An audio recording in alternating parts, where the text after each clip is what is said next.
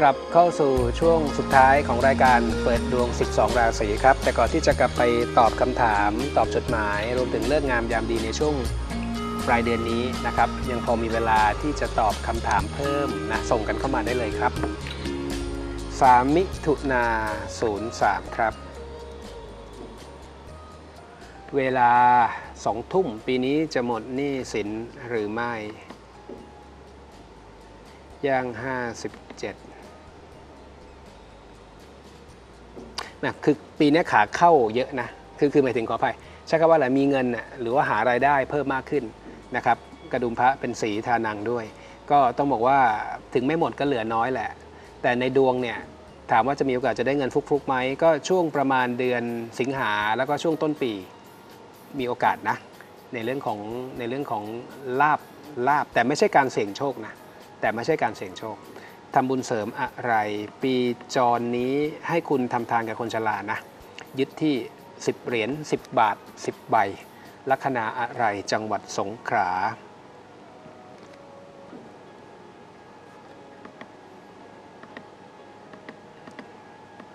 สงขลา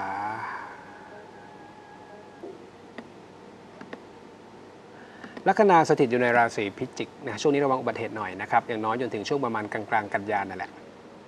ต่อเลยครับ ลูกสามคนเป็นไม้ถามเรื่องของความรักนะครับ ดวงนี้เรียนโหนได้นะนะอาของคุณเนี่ยมีลีลาบางอย่างใกล้เคียงกับของผม ผมไม่ได้บอกว่าผมเก่งหรือผมดีนะ เพียงแต่ว่าจะบอกว่าถ้าคุณสนใจอยากจะศึกษาโหราศาสตร์ ยืนยันว่าดวงนี้เรียนได้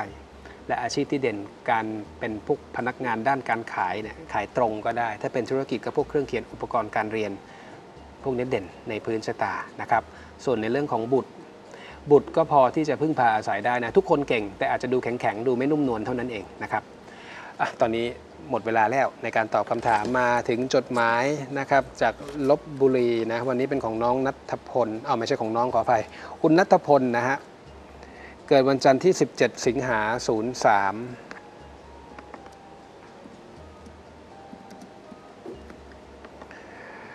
เอ่อเป็นคุณพ่อนะทำอะไรถึงจะดีสุขภาพลัคนาทำบุญอะไร ไม่ได้บอกจังหวัดมานะจ๊ะ ว่าเกิดที่ไหนนะครับ สุขภาพ เวลาเด่นนะครับ ไม่มีเวลาเกิดด้วยนะอันผมขออนุญาตข้ามเป็นอีกคนหนึ่งนะฮะ คุณนิตยาวันเสาร์ที่ 22 ตุลา 03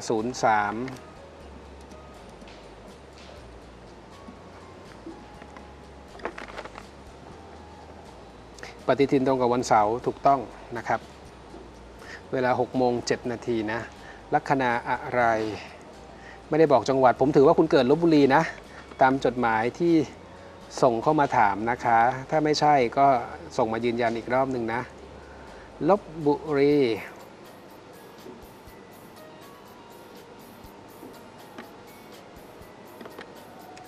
6 นาฬิกา 7 นาทีนะครับ ตรงกับวันเสาร์ลัคนาสถิตอยู่ในราศีตุลนะ ตุลก็ระวังสองเรื่องเรื่องความรักกับเรื่องของสภาพคล่องนะครับ สุขภาพ ทำบุญเสริมสุขภาพ 2 กลุ่มนะครับดาวอาทิตเสียด้วยอยู่ในเรือนโรคภัยไข้เจ็บ ไม่เสียแต่ว่าอยู่ในเรือนเสีย ก็สายตาความดันระบบเลือดนะครับอีกกลุ่มหนึ่งจะเป็นพวกภูมิแพ้นะทางเดินหายใจไมเกรน แล้วก็ในเรื่องของกระเพาะ ส่วนการทำบุญเสริมชะตาปีนี้นะครับ เน้นการทำบุญเรื่องห้องน้ำนะ จะสร้างหรือจะซ่อมได้ทั้งนั้นนะครับ เบอร์โทร 69 เสน่ห์และความสำเร็จถือว่าดี แต่ว่าอยากค้าขายอะไรดี ถ้าทำถ้ามีฝีไม้ลายมือเรื่องของพวกของกินสิ่งสวยงาม พวกนี้ถือว่าดีที่สุดนะ